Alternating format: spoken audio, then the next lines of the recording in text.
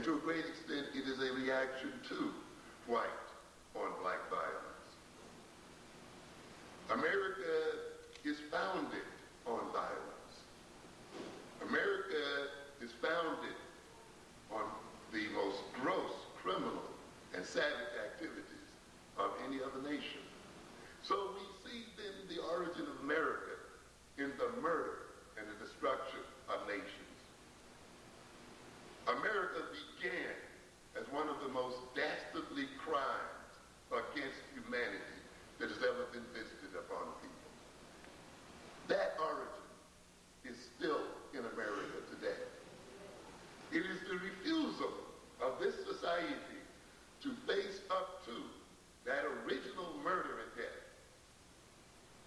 It is this society's ongoing attempt to rationalize its killing and murder of Indians that has skewed its whole consciousness today, its morality and its values.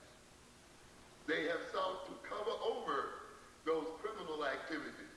And in covering over those criminal activities the original criminal activities, in rationalizing those criminal activities, they lie to the people of this nation and they create a false consciousness and a false sense of reality in the people of this nation, and consequently they continue their crimes. And they, they stimulate ongoing crime within their own society. The other origin of this nation, of course, is the enslavement of our people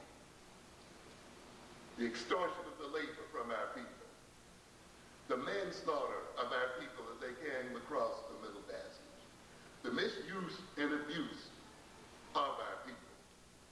This nation then was bound